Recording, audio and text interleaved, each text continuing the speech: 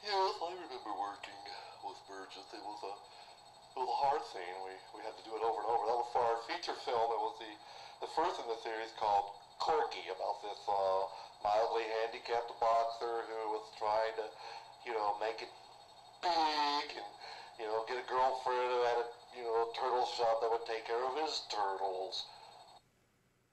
You know what you are? Well, Tomato. neighbor. Let's face it, I run a business here, not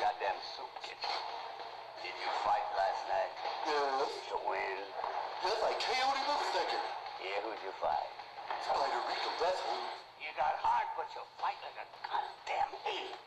Nothing special about you. You never got your nose busted. Well, leave it that way. You would go only in Paris, is that it? Absolutely not. I can't stand the French. Those frog skiers coming over the hills and they like Jerry Lewis. I think I understand. I hope so. I'm sorry, but geez, it's Jerry. But why? Why what? Why do you do it, Linus? Free government cheese, HBO, Cinemax, a chance to be on Dancing with the Stars. What do you care for? You don't even know my name. David? No, it's Bartholomew. Bartholomew. Say it. inconsiderate of you. It's very inconsiderate. And how inconvenient for you.